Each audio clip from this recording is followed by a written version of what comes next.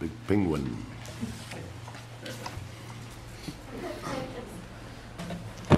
Hi there, Mayor, Council. Uh, So, just a couple things to address today. I uh, just flew in from the Antarctic coast, and boy, um, no, my wings are not tired. I am a flightless bird. We know I that, know that you like to make jokes, and so I just want to tell you that I'm a, I took coach for the record. That's Good. for the record. So, anyways, um, just a couple things here. Anyways, when I got here, I picked up a newspaper, this newspaper right here, and you, I know what you're probably thinking. You're thinking, how do penguins read? Well, the answer is very, very carefully. So I read the newspaper here, and I thought it was kind of interesting. Uh, Talks about experts say climate change could threaten local beaches in coming decades. And In a not too distant future, the beach cities may no longer have beaches. Uh, and then it goes on something about climatologists.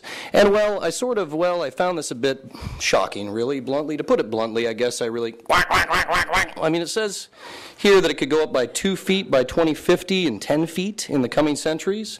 But it could go up a lot more than that because, uh, like I know, I moved here from Antarctica, and that western shelf just dropped into the ocean. So it's a very serious concern. So basically, what I'm saying, I mean, I guess the best way to put it is quack, quack, quack, quack, quack. Sorry, is really the best idea for. Is this the best idea for building a huge mall on a perfectly fine pier with historical significance? I mean, sure, it needs an upgrade and some restoration, but uh, who doesn't, right? So, I mean, there are a lot of real problems affecting the country and the residents of Redondo. NSA snooping, for one. Uh, the dollar is about to collapse. That's another. I don't know if you knew that. The U.S. dollar. Um, and even the mayors of certain cities uh, threatening to have people arrested for clapping. That's going on too. I don't know who that is exactly. But um, the oceans are also being overfished. And I should know, I'm a penguin. Now, this council is this council is busy focusing on building a giant mall that no one will go to. Yeesh. And I thought I was a bird brain. But anyways, what do I know? I mean, I'm not a lawyer or a uh, real estate tycoon or even.